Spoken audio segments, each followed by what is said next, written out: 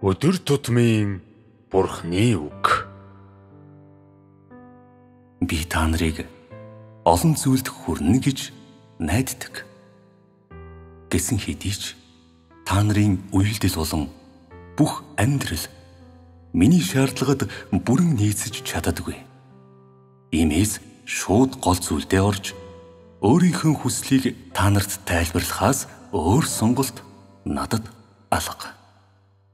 Та нарын ялган таних чадвар дуйлхан багтан сонирхох чадварч мөн адил тааруухан болохоор та нар миний зан чанар түнчлэн миний мөн чанарын талаар баг юу ч мэддэггүй. Тиймээс тэр талаар та нарт мэдэгдэх нь яаралтай асуудал болоод байна.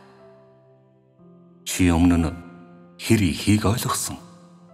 Эсвэл эдгээр асуудлыг ойлгохоор оролдоход бэлэн байгаа эсэх чинь хамаагүй.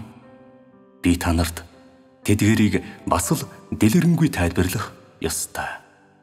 Эдгээр асуудал нь та нарын огт мэдэхгүй зүйл биш боловч та нар ойлгож байгаа юм шиг эсвэл тэдгээрт агуулгадж байгаа утга учирыг мэдэж байгаа юм шиг санагддаггүй.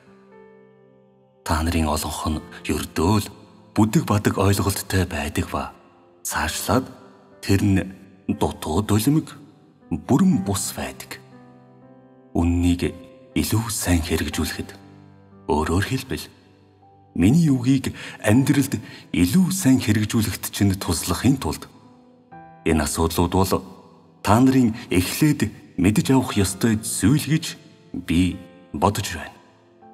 Эс бөгөөс та нарын итгэл тодорхойгүй хуурамч хагаад шашны өрх зангаар дүүрэн хэвээр үлдэх болно. Хэрвээ чи Бурхны зам чанарыг ойлгодоггүй бол түүний төлөө хийх ёстой ажлаа хийх боломжгүй байх болно. Хэрвээ чи Бурхны мөн чанарыг мэддэггүй бол түүнд хүндлэл айдас үзүүлэх боломжгүй байх ба оронд нь харин жишимгүй хуумгай байдал булзаарл түгээлчүүл барам засаршгүй доромжллыг л үзүүлэх болно.